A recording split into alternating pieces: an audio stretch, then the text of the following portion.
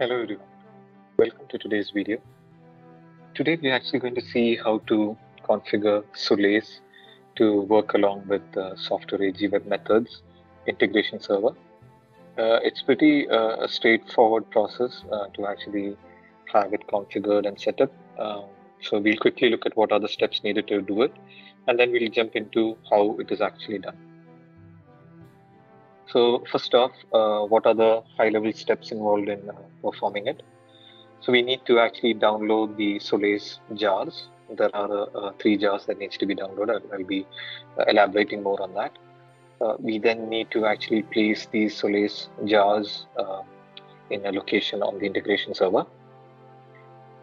then we have to actually create a JNDI provider alias on the integration server followed by creating a JMS connection alias again on the integration server. So, so the steps highlighted in blue are the ones that you have to do it on uh, Software AG's uh, integration server. And finally, we need to create a connection factory on Solace. So where do we get the jars from? So the first two jar files, we need to actually download it from solace.com slash downloads. And the Solace JMS jar, we need to actually download it from Maven. Uh, you can actually go to the Maven repository path and actually download them. Where do we actually place the jar files? So at any installation of uh, your integration server, you would have a path of the integration server followed by what is the name of the instance, a lib folder, again jar, and then custom. Within the custom folder, you can place these three jar files. And once you have placed the three jar files, you then go ahead and uh, restart the integration server so that these jar files are picked up. The next steps are actually to create a JNDI provider alias, create a JMS alias, and create a connection factory on Solace. So I'll uh, jump into the interface and show you how this is done.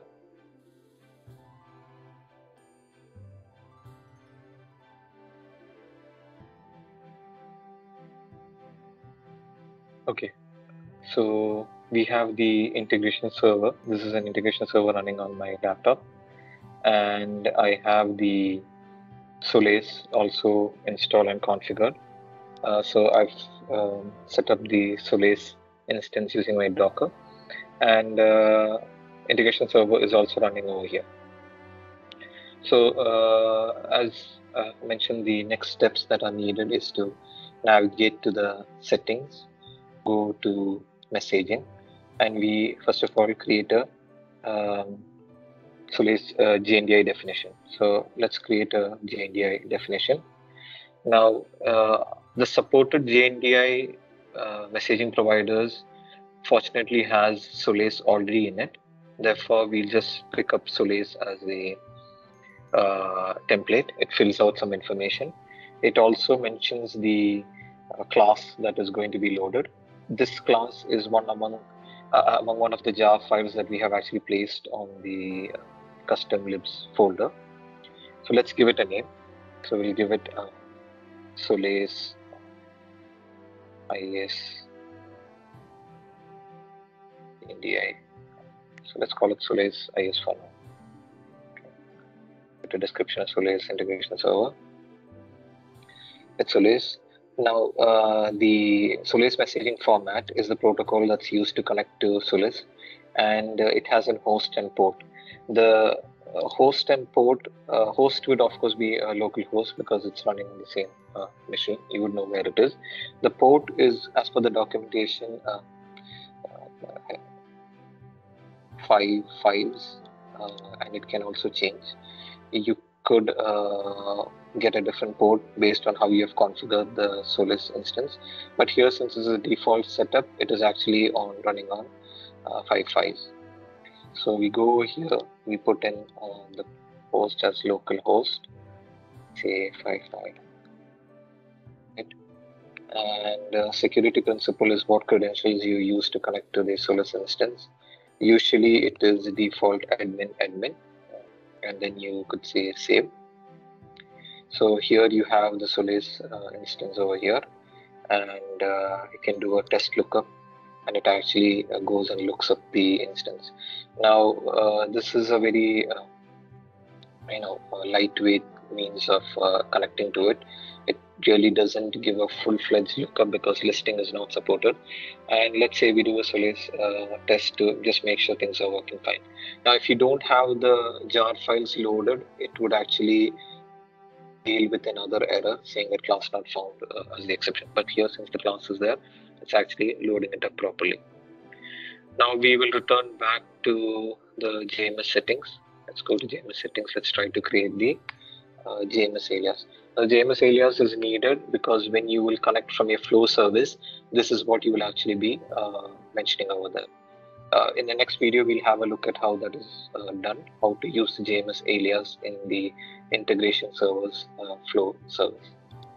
So let's go ahead and create a JMS alias. So let's say Solace IS JMS. Not a great name, but uh, this should suffice.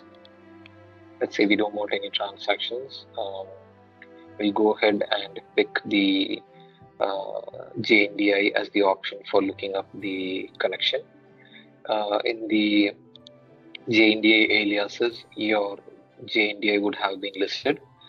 Uh, connection factory uh, uh, connection factory lookup name. This is the connection factory name that we would have to give, uh, which is referenced in Solace. So let's say we'll give it uh, uh, connection factory Solace. let's say yes CF because this is the name we'll have to give in uh, Solace after this. And pretty much everything else is default. Let's say save. Uh, and your Solace JMS is created. Let's say if we try to enable it, of course, it wouldn't work. Now, this is because this connection factory name is not found in Solace. So let's hop on into Solace, come over to so this is the main panel. We come over to JMS JNDI. In the connection factories, we can see if the connection if the connection factory is defined. If not, let's go ahead and create it. Uh, Solace JMS was not the name. So let's go and see what was the name again. The name of the connection factories, CF Solace. Okay, so let's go back onto here, create the connection factory CF, okay, and say create. So by this, the connection factory is created on Solace and you'd say save. Hop back onto your integration server, return back to your JMS settings. Let's try to enable it once more. And this time, as you can see, it is enabled. So now you have your JMS definition created and all you have to do is reference this JMS alias in your uh, flow service. So in the next video, we'll have a look at how the uh, JMS uh, alias is actually pointed in a flow service and how we can publish messages onto uh, uh queues or topics on Solace. So hope you liked the video. If you have any other questions or any clarification, please uh, uh, do reach out on the comments and let me know. Thank you.